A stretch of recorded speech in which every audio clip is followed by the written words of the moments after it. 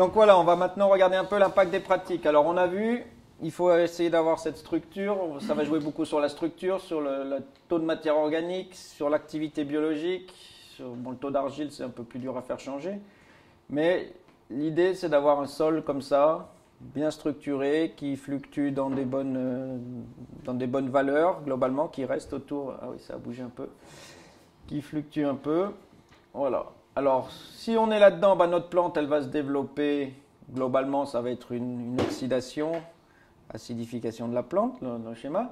Si on est sur des niveaux plus élevés, ben, elle va aller plus vite et elle va passer ses, cycles plus vite. C'est un peu comme ça que, ben, qu'on disait, quand une plante est vraiment stressée, elle met à floraison. Alors, on peut le voir, est-ce que c'est pour, euh, pour euh, maintenir l'espèce ou enfin c'est des régulations? Est-ce que le résultat il est là Oui, quand c'est stressé, ça met plus vite à floraison. On sort des graines, même si on en sort moins, c'est pour, euh, pour, passer le cycle.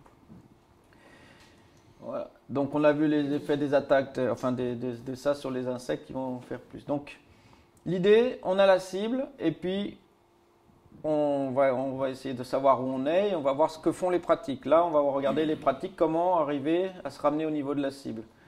Donc où est-on? Que craint-on Que fait-on Voilà.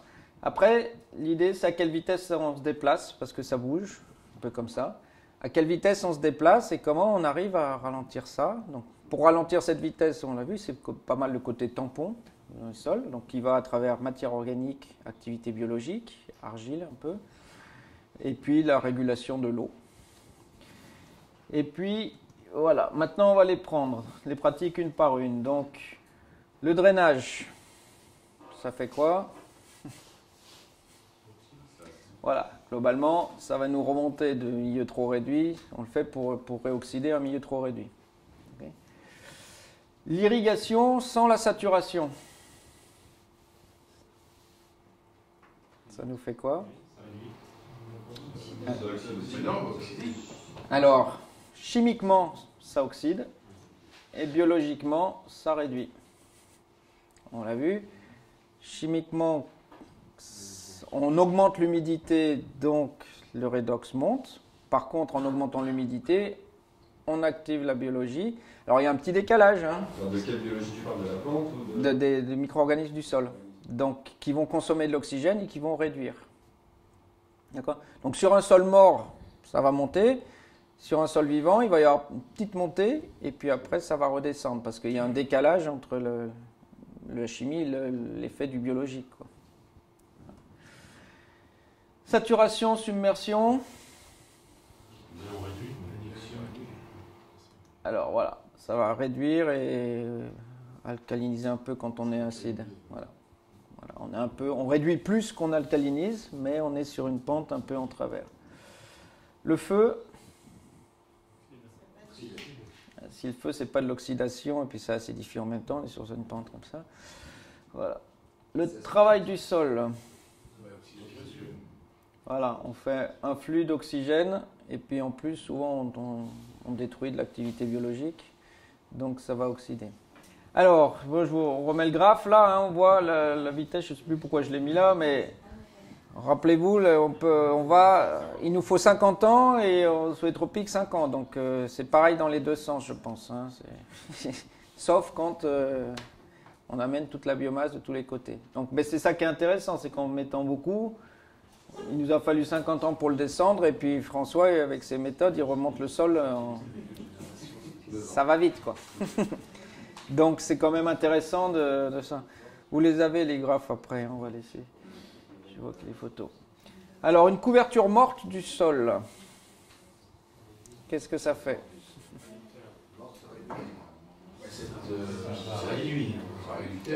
Bah, En fait, ça, voilà, ça augmente l'humidité, donc ça va euh, oxyder sur le côté chimie, mais il y a surtout plus d'activité bio, donc ça va être réducteur. Et ça va être plus réducteur qu'oxydant, ça va, ça va maintenir. En même temps, on bloque les ultraviolets qui ne vont pas taper sur le sol directement, et ça c'est très oxydant.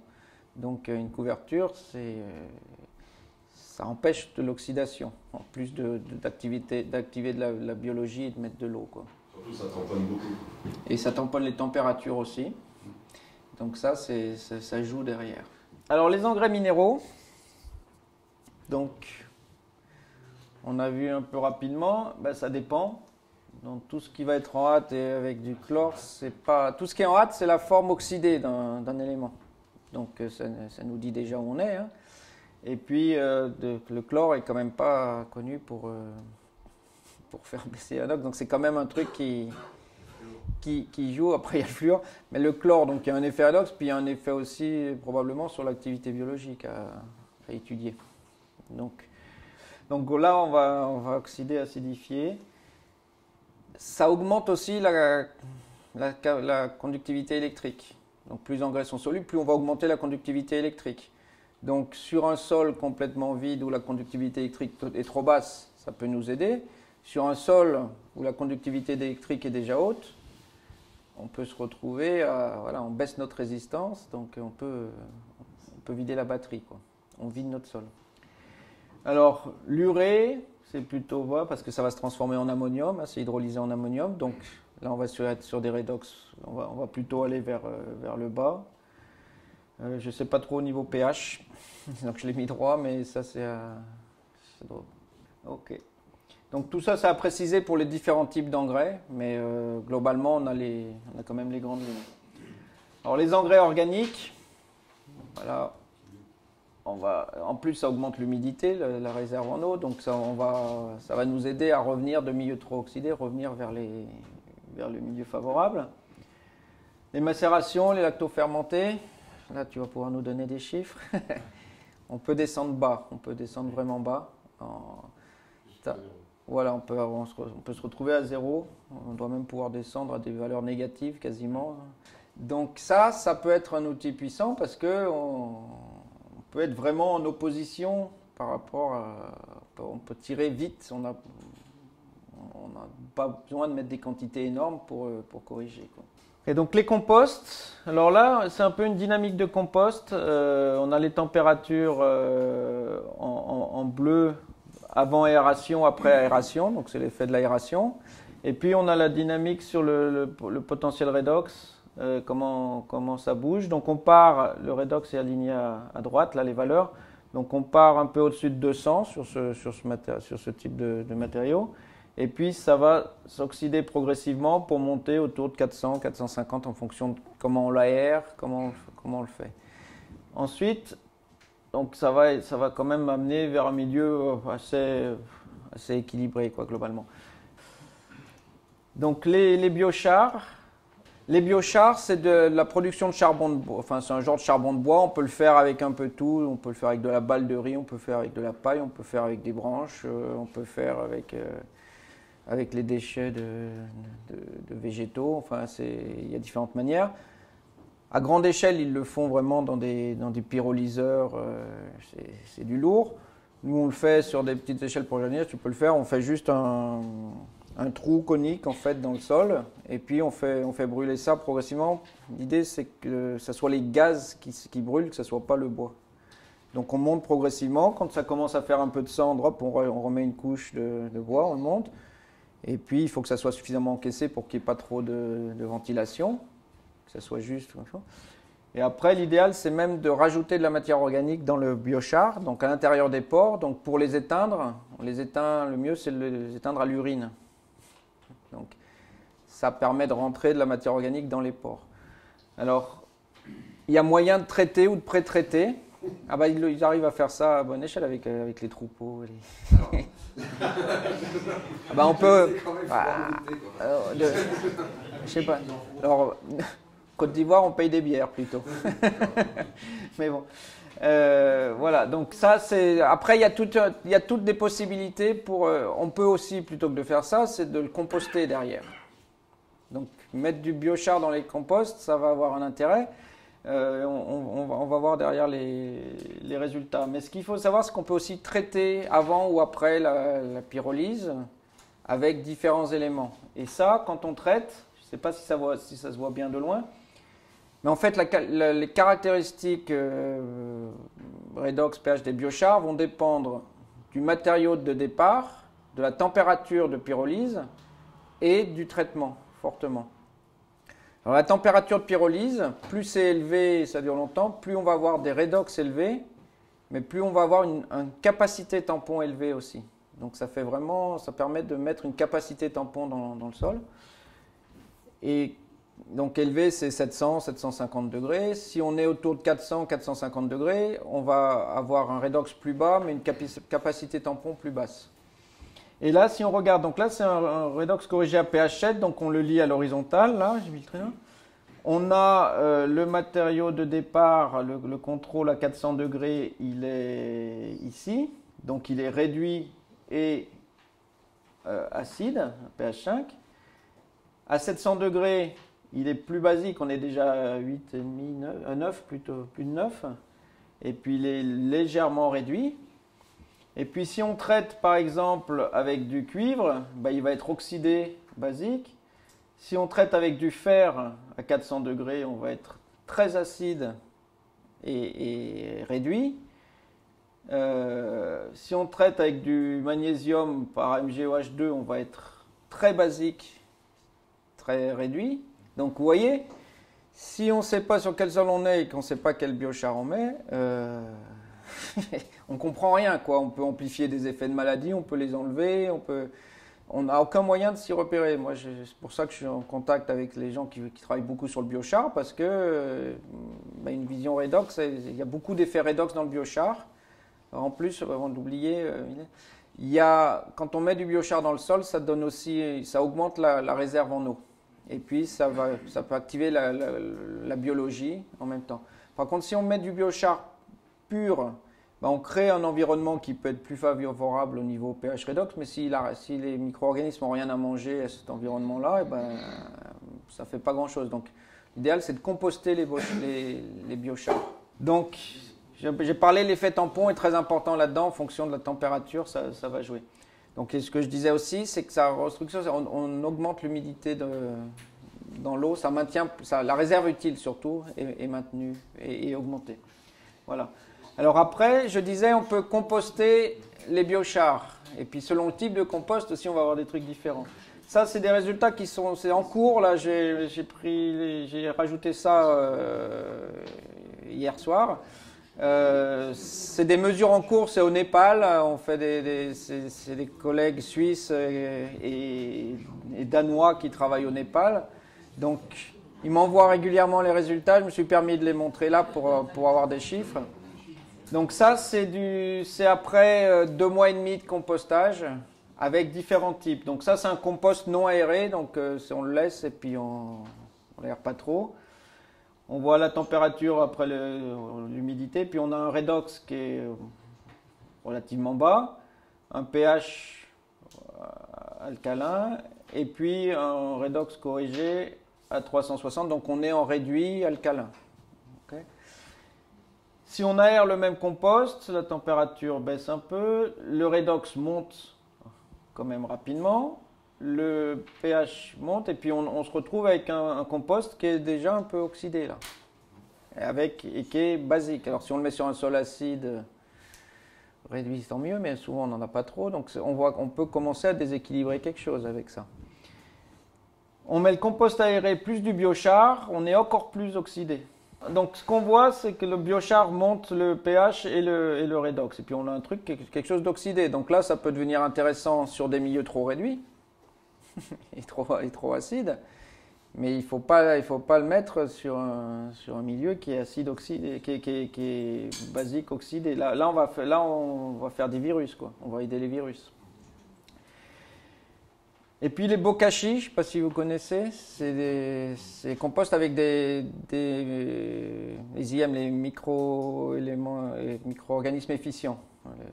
Euh, donc c'est, des, on rajoute des micro-organismes, on, fait en conditions moins, moins, un peu moins humides, mais surtout, on voit comment ça évolue. On, est on fait chuter complètement le redox dans notre, dans notre bokashi, dans notre compost avec les micro-organismes.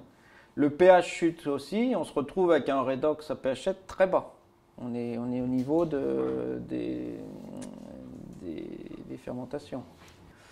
Et puis si on met le biochar, et eh ben là on ne l'explique pas vraiment, ça fait chuter encore plus le redox. Donc ça, c'est des dynamiques qu'on essaye de comprendre. C'est tout neuf là, c'est des résultats qui sont de la semaine dernière. hein. donc euh, c'est euh, c'est plus que récent. Donc il y a tout un travail à faire aussi sur, sur notre compost, euh, comment, on le fait évoluer avec les micro-organismes qu'on peut mettre dedans, avec euh, puis qu'est-ce qu'on prend au départ. Mais derrière, on fait pousser du maïs là-dessus, et, euh, ces deux-là, sur les sols du Népal, ça, cela ils cartonnent. oui.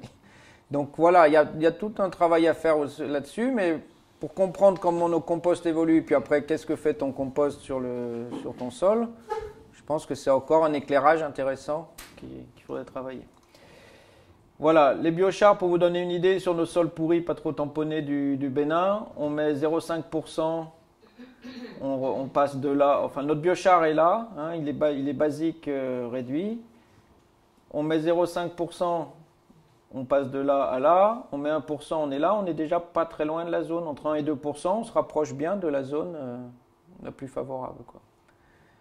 Donc euh, c'est c'est aussi parce que le sol n'est pas tamponné, donc un peu de biochar fait de l'effet, c'est que le biochar est sans doute tamponné. Donc il y a tous ces aspects. Combien il faut en mettre sur un sol, ça dépend des caractéristiques du biochar par rapport au sol et, de la capacité tampon du sol par rapport à la, capacité tampon du biochar.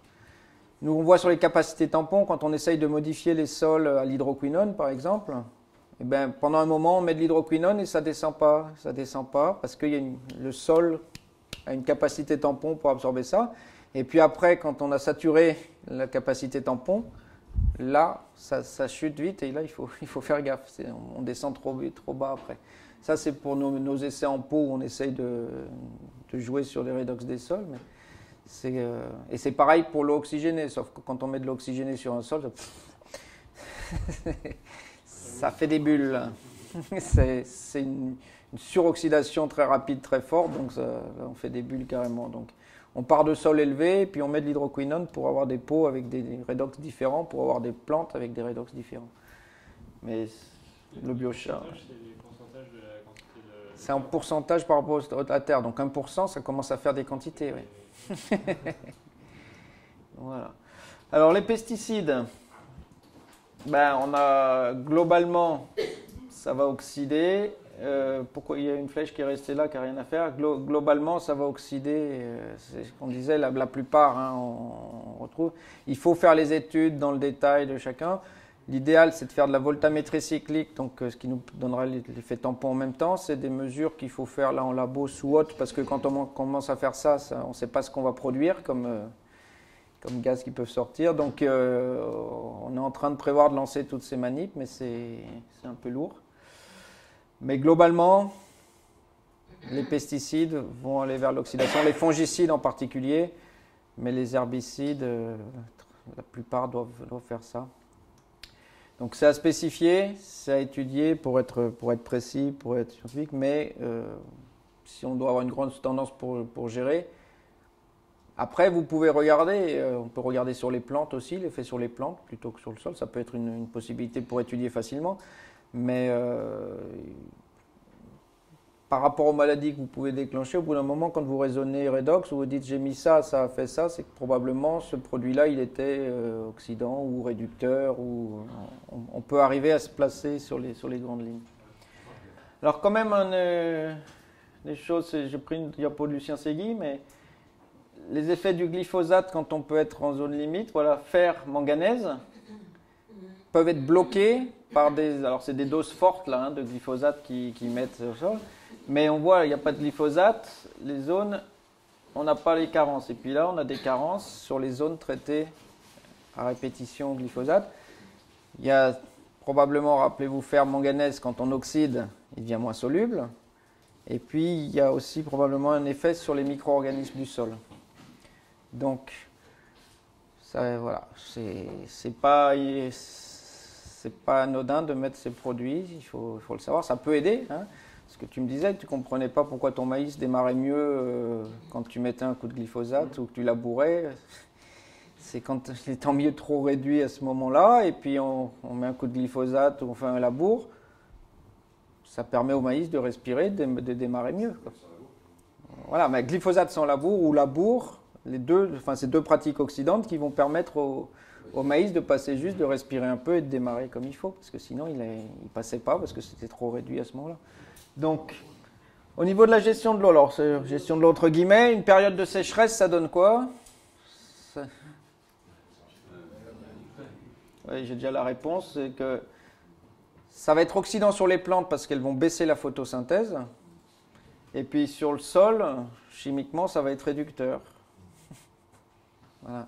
Si c'est un sol vivant, ben, ça va baisser l'activité biologique, donc ça va plutôt oxyder. Donc c'est, il faut à chaque fois voir la situation où on est. C'est pas, euh, les sols vont être différents. Un ciel couvert, des nuages. Alors, sur les plantes, c'est oxydant. Et sur le sol, alors nous, dans tous les schémas que je vous ai montrés, euh, où il y avait, euh, on, mesurait de 6 heures du matin à 6 heures du soir, on avait la descente euh, les, 3-4 premières heures, et puis après ça se stabilisait. On l'a répété 8 ou 10 fois, et il y a un jour où c'était bas le matin, et c'est resté comme ça, et on sortait de deux jours d'orage complet. Donc on se dit, est-ce que c'est ça qui, est-ce que c'est qu'il y avait de l'orage qui a rechargé le sol On ne sait pas. Mais c'est le seul jour où on, ne répète pas ça. On a eu le week-end complet, orage du samedi matin au dimanche soir, c'était non-stop. Et le lundi matin, on commence à mesurer et, on n'a pas les plantes oxydées euh, comme, on avait d'habitude. Donc, face de la Lune, euh, il faudra que je les vérifie, mais a priori, non, c'était pas ça. La pression atmosphérique alors après, il y a des, équilibres entre les nuages. Là, j'ai mis un cumulonimbus, il y a des grosses différences de potentiel entre le sol et les Donc, en jour d'orage, c'est pas la peine de mesurer du redox. Ça, c'est pas peine. Un ciel couvert, nous on note dans les, dans les mesures à chaque fois s'il y a des nuages qui passent, a le truc. On n'arrive pas vraiment à relier. Globalement, ça va. Mais, mais il y a encore du boulot derrière. Par contre, l'orage, on sait, c'est on ne mesure pas, c'est tout faux. Par contre, sur les plantes, c'est oxydant parce que la photosynthèse baisse, il y a moins de lumière. Donc ça, c'est très marqué et on le voit. Sur le sol, je disais, on ne sait pas trop, l'orage, on ne sait pas trop. Alors le soleil. Il est réducteur sur les plantes et sur les sols, il est très oxydant. Sur un sol nu, il est très très oxydant. Donc ça va, voilà, les plantes dans un sol, les sols, les, trucs dans le... Pourquoi il est très oxydant C'est que le fer du sol réagit sur, avec les, sous l'effet des rayons UV et il fait du O2 moins. Donc c'est pratiquement ce qui existe de plus, de plus oxydant sur la planète. Ça c'est dans le désert de l'Atacama. Donc il y a un taux de matière organique qui est ridicule. Et ben chimiquement le taux de matière organique baisse encore sous l'effet des rayons UV et du fer. Donc c'est, euh, on peut perdre de la matière organique qui est dite récalcitrante, euh, qui, qui soi-disant elle bouge plus, si on peut la perdre. Ça c'est publié dans Nature, donc Nature Communication, c'est, du costaud. Couverture morte du sol, je ne l'ai pas déjà mis ça. voilà. Ça bloque les UV, bon là je vais rajouter, c'était pour ça. Couverture vivante du sol. Donc là on est en train de rouler de la, du stylosanthes, c'est la luzerne tropicale hein, sur milieu acide, on a ça. On arrive à faire des couverts qui, vont bien. C'est en première année, on reprend euh, vite. Donc couverture vivante du sol, eh ben, ça va être réducteur, mais je l'ai mis dans le mauvais sens parce que c'est, elle va être, la, photosynthèse c'est réduit acide, acidification, réduction. Donc la flèche est un peu décalée. Mais ce qu'il faut bien comprendre, c'est que le soleil, c'est très oxydant sur un sol nu et c'est l'énergie pour la réduction sur un sol qui, avec, avec, des, végétaux qui poussent. Que ce soit des plantes de couverture ou des mauvaises herbes. À partir du moment où il y a une plante qui pousse, elle va, elle va nous réduire ça. C'est pour vous montrer, là, ça c'est à Madagascar, on peut avoir des, des sorgho par exemple qui nous font ça en quelques mois. Donc on peut faire de la biomasse, quoi. Et il y en a des, il y en a des pires que ça. Il y en a, c'est à 6 mètres de haut. Il est plus grand que moi. Hein. Donc euh, c'est pas, c'est pas qu'on a mis un gars d'un mètre 50. il doit faire un mètre 85 ou quelque chose comme ça. Donc voilà. Donc euh, voilà. Alors les, les, rotations de culture. qui comment elle nous modifie. Alors on sait que ça, il y a des choses. On a vu la rotation luzerne blé par rapport à sucre, euh, betterave à sucre et, l'orge.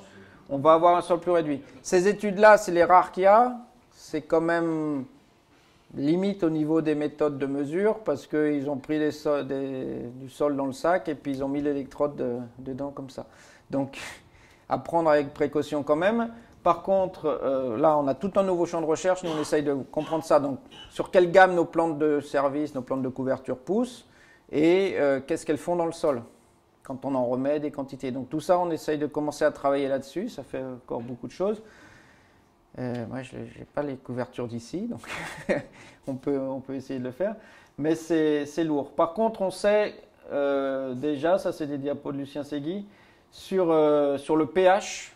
On a déjà commencé à travailler sur le pH avec des effets. Par exemple, ça c'est le pH du profil du sol après percolation de l'extrait végétal. Donc on les met dessus et puis on voit, on voit que le radis fourragé, il remonte. Donc on a le, sol témoin au départ. La mucuna, elle nous le corrige sur un peu plus de 10 cm. Euh, mais de manière limitée. Puis après, on a, c'est pas très surprenant. Rappelez-vous, la mucuna, c'est celle qui est à pH 4,5, la, la sève, quoi. Donc, euh, on peut se dire, on le retrouve là. Le blé, il est là, l'avoine noire, le radis fourragé, on commence à avoir un effet qui va jusqu'à plus de 15 cm, on va dire, et un effet qui n'est pas, pas négligeable. Donc, entre nos plantes de couverture, on sait que derrière, si le pH bouge comme ça, le redox a plutôt baissé aussi, hein, parce qu'on a cette corrélation. Donc euh, on, est, euh, on, voit qu'avec, en fonction du type de plante qu'on met, on va avoir une évolution différente. Et ça, alors il faut faire attention, il faut les, il faut les lire, euh, les deux se lisent à, l'inverse, c'est encore des diapos de Lucien Segui. Ça, c'est la neutralisation de l'acidité potentielle. Donc là, il y a toute l'acidité du départ, et là, c'est ce qui reste après. Donc plus on est, plus on est en haut et on est petit, plus c'est efficace. Et de l'autre côté, c'est l'inverse, c'est combien ça a neutralisé. Donc plus on est en bas, plus on est efficace. Donc c'est pour ça aussi que les mélanges de plantes, ça, peut être intéressant parce qu'on en va en mettre une qui nous corrige les mauvaises herbes, une qui nous corrige l'acide. Enfin, on, peut, on peut jouer sur, sur ces choses-là. Voilà. Alors densité de semi-étalage, on en a parlé un peu. Ça donne quoi? Mais- le soleil frappe plus fort.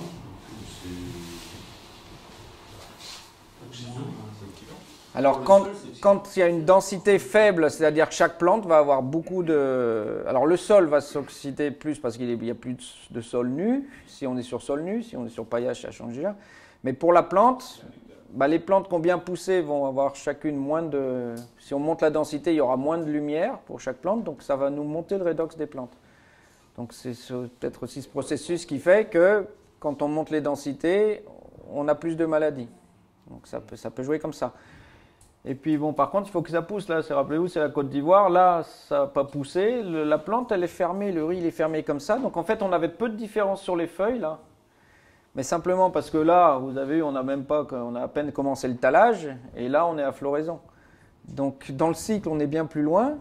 Mais sur les plantes, on est, quand on mesure les deux au même moment qui sont semées en même temps, il y en a une qui s'est arrêtée parce qu'elle n'avait pas d'eau. Donc il faut, il faut comprendre cette dynamique, sinon on ne comprend rien. Alors, euh, tout ce qui est carbone du sol, activité biologique, structure du sol, on a vu que ça baissait le, le redox et le pH. Et puis il y a un effet tampon de régulation, ça va nous permettre d'être au bon, au bon niveau. J'ai mis des flèches un peu bizarres, mais ça veut dire qu'on va, on va rester euh, dans la. Ça va, on va se déplacer moins vite sur la cible. Quoi. Voilà. Voilà.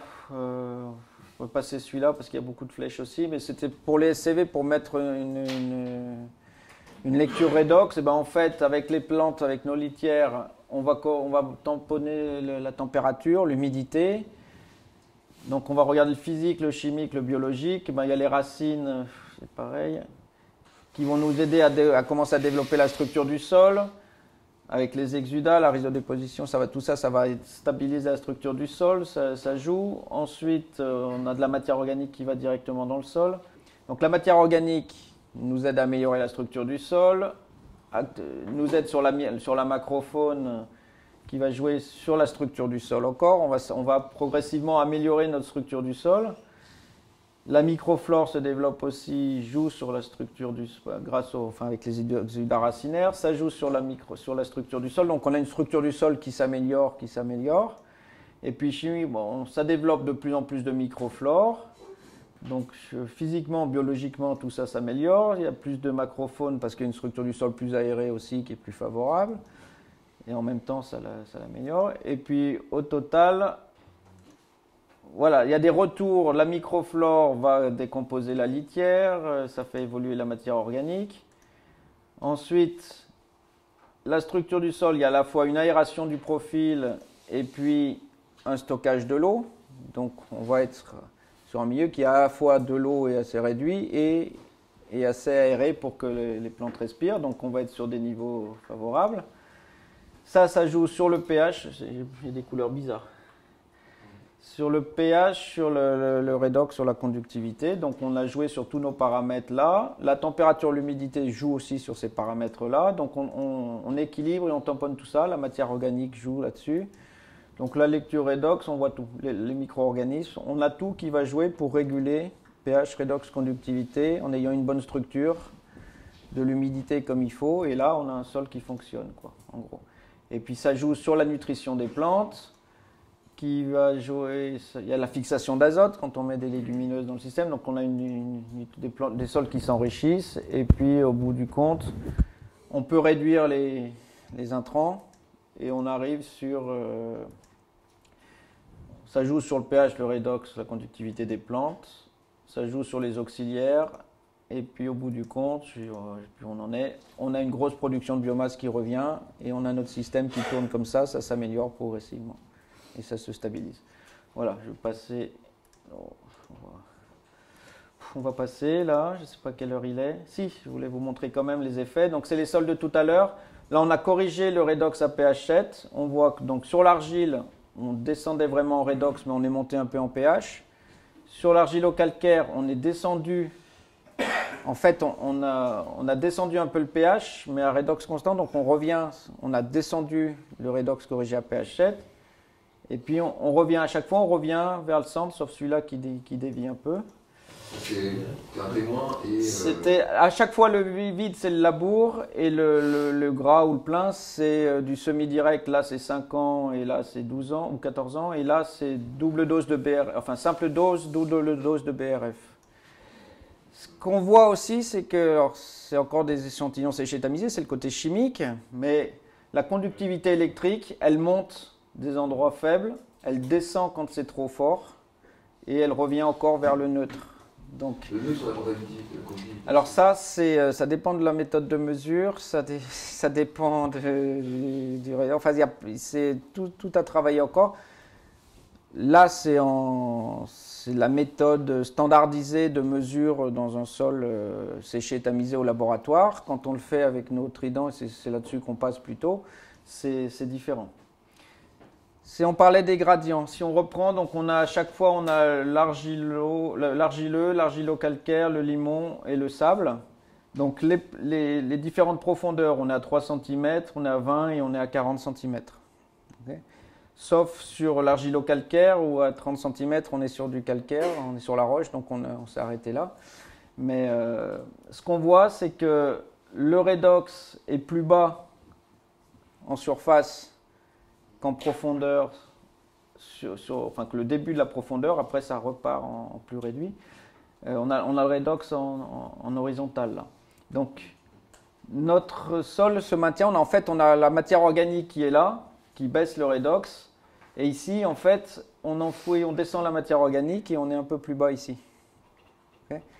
Pour le pH, euh, ça c'est le redox corrigé à pH 7, pardon. Sur les conductivités, on, les, on voit aussi que ça ramène globalement 20 mm, mais ça c'est quand même important. Ça veut dire que là on est en train, en fait, avec le labour, on inverse le gradient. Ça c'est un gradient naturel de forêt. C'est comme ça parce qu'il y a de la matière organique, là il y a moins de matière organique, puis après ça respire plus, et si on descend plus profond, bah, le redox va rebaisser parce qu'il y a moins d'oxygène qui circule. Mais là, on peut se poser la question quand même d'avoir un, un, truc comme ça. C'est que on est moins en haut plus en bas. Nos bases, elles font quoi? A priori, les bases, les CA2+, les MG2+, euh, c'est des charges positives, elles vont fuir le plus pour aller vers le moins. Donc a priori, sur un système qui fonctionne comme ça, on peut se dire que les bases, elles remontent. Sur un système qui fonctionne comme ça, les bases, elles ont tendance à... Il y a une force qui les pousse vers le bas. Donc ça, c'est à étudier. C'est des hypothèses, mais logiquement, on crée un gradient électrique, une force électrique qui va nous pousser les bases vers le bas en labourant. Ce qui, ce qui peut... C'est le, le semi-direct sur couverture végétale en anglais, parce que ça, je n'ai pas repassé en français les trucs. Conservation, agriculture. C'est l'agriculture de conservation, on est obligé d'adapter les termes pour les publications. Ça, c'est les publications qu'on prépare. Voilà. Donc, on voit quand même que cette inversion de gradient, c'est pour ça que dans les pots, on essaye de voir si ça inverse le gradient sur les, sur les plantes aussi. Donc, euh, c'est quand même pas négligeable. Et ça, c'est une inversion de gradient. Là, on a remis le redox à en fonction de l'horizon de surface et puis celui en dessous. Ben, c'est significatif. En, statistique, on montre toutes ces différences-là sur les différents types de sols. C'est significatif. On a une inversion de gradient à tous les coups, sauf le dernier sol sur qui ne bouge pas beaucoup euh, à 12 ans parce qu'il est déjà bien avancé. Mais globalement, on retrouve presque partout une, différence, une inversion de gradient significative. Euh, bon voilà, l'impact sur les éléments nutritifs, l'impact sur les plantes, tout ça, c'est à étudier. Donc en gros, inversion de gradient, normalement, c'est en, naturel, c'est plus réduit en surface et plus oxydé en dessous. C'est réduit en surface, oxydé un peu en dessous, et puis après l'oxygène ne circule pas et ça redescend vers la réduction. Ce que tu disais sur les mycorhizes, il faut, ça, va jouer. Mais euh, ça, oui, c'est le fonctionnement de la forêt, c'est ce qu'on trouve. C'est parce qu'on a une accumulation de la matière organique en surface qui évolue comme ça. Et avec le labour, tu descends la matière organique en dessous. Ça pourrait être pour une explication pourquoi souvent sous, semi-direct, on voit les racines qui sont vraiment, sous la forêt, c'est vraiment sur, sur les 5-10 premiers centimètres, et que sous labour, elles se développent plus sur l'horizon d'en dessous. Et puis on voit, on voit les évolutions, quoi, mais euh, bah, sur, sur le limon là, on passe de 4 tonnes à 5 tonnes, mais c'est la différence, elle est beaucoup sur, le, sur la conductivité. il y a des. Voilà, on, les, on, commence à travailler tout ça. En direct, ce que ça donne, c'est au, en Côte d'Ivoire, et ben on a le redox sur la bourre en orange, sur euh, conventionnel en vert on voit qu'il bouge moins quand même, il, est, il, est, il fluctue moins sur le, sur le semi-direct pardon, en vert. On voit qu'il fluctue moins. C'est lié beaucoup à l'humidité, on verra. Le pH, les différences sont, sont faibles. Mais le redox est très lié à l'humidité, à, la, enfin l'humidité dans le sol dans, dans ces cas-là. Mais il est, c'est, en Côte d'Ivoire, c'est la même parcelle. En fonction Là, c'est en fonction des dates, oui, c'est l'évolution dans le temps, pardon. Mais on voit que c'est plus tamponné, que c'est joué, ça joue beaucoup à l'humidité, qu'en fait, le redox, c'est pas très très différent, mais l'humidité est très différente. On voit, on est toujours plus humide. L'humidité là, on voit, on est toujours plus humide sous le semi-direct que sous le labour. Donc, on a un redox pas différent, mais enfin, qui est plus tamponné et qui globalement va être, va être meilleur. Et si on regarde dans le temps, c'est la même chose, mais on a mis pH, on a mis humidité redox, ok? Et c'est comment ça se déplace dans le temps ce qu'on voit, c'est que le semi-direct est plus humide quasiment tout le temps et a un redox qui est à peu près équivalent alors qu'il est plus humide. Donc euh, il a... Voilà. Ici, la plante, elle ne fonctionne pas. Toute, cette partie-là, en fait, on est en sécheresse. En dessous de 10%, tout ça, on est en sécheresse. La plante, elle ne fonctionne pas, tandis que là, elle fonctionne. D'accord? Donc c'est... Euh, voilà, il faut regarder l'humidité en même temps parce que là, on était sur une année spécialement sèche. Hein. C'est du riz, sur les 50 premiers jours en pluvial, il a reçu 45 euh, mm d'eau. Donc il a tourné sur la réserve qu'il y avait en dessous, puis après, il s'est arrêté. Voilà. Donc, résumé, c'est facile d'oxyder. Bon, on draine, on le fait quand il y a la sécheresse, mais on fait du feu, ça oxyde. On, on met des engrais, apparemment sulfurés, ça oxyde. Des pesticides, ça va oxyder. Le labour, plus d'oxygène, ça va oxyder. Et le soleil sur un sol nu, donc un sol nu, on oxyde. Donc oxyder, on a plein de moyens, c'est pas trop dur. Réduire, bah, c'est le soleil si on a des plantes, c'est l'eau avec l'irrigation, c'est surtout avoir une bonne structure du sol pour avoir une réserve utile euh, qui, va bien, c'est des couvertures végétales, c'est du stylosantès, on peut faire des bonnes biomasses. c'est de la matière organique, c'est de l'activité biologique. Voilà, qu'est-ce qui va nous. Tout ça en même temps, ça va nous le tamponner. quoi. Et puis de l'urée pour, pour les engrais. Donc ce qui tamponne, matière organique, activité biologique, les argiles. Et puis euh, la couverture du sol, ça va jouer sur l'eau et sur la température. Donc c'est un, un effet tampon aussi. Voilà, en gros, un système qui fonctionne au niveau redox, c'est quoi? On l'a déjà vu, c'est c'est un sol vivant, quoi. C'est donc le nom maraîchage sur sol vivant est pas mal. voilà. Voilà, donc euh, maintenant on s'amuse, comment on ralentit cette vitesse-là en tamponnant et comment on se maintient dans la cible? C'est le, le jeu avec les pratiques. Et puis voilà. Parapluie pourtant sec, les Shadocks.